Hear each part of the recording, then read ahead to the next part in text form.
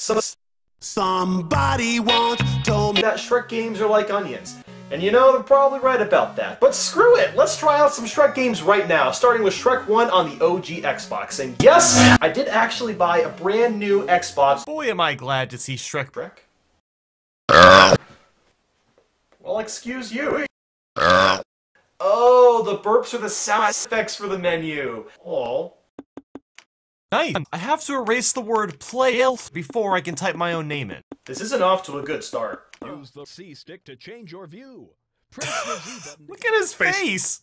Anyway, this is your typical 3D platformer. You run around as Shrek and you're equipped with a surprisingly robust moveset. You can run fast. Somebody once told me the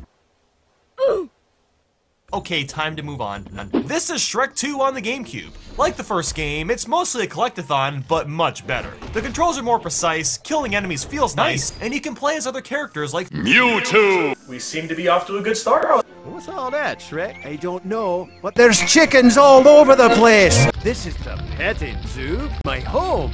No, Welcome to Married Life. So now I'm stuck throwing chickens into this pot. Okay, eh, eh, eh, that's basically it. Give this a try if you want to laugh for a few hours. But if you need more Shrek 2 in your life, well, it's on the Game Boy Advance 2. 2. Get it? Okay, okay. I can't tell if he's upset or he's excited about what he's doing. The way he says, "Oh, okay, it's fascinating to me. It's honestly just, it's fascinating. Well, the controls are okay. And The music is kind of chill.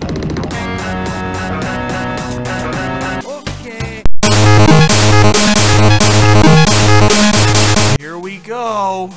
God, I'm not ready to play this. Even Shrek is terrified. just walk it out.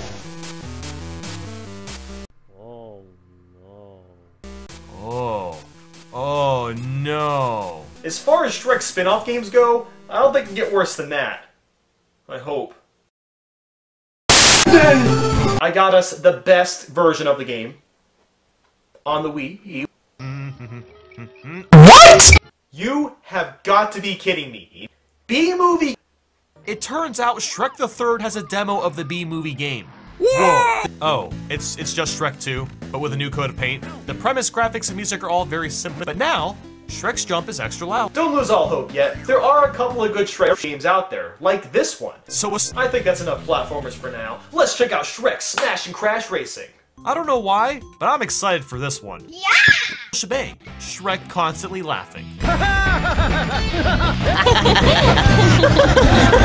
You know the drill.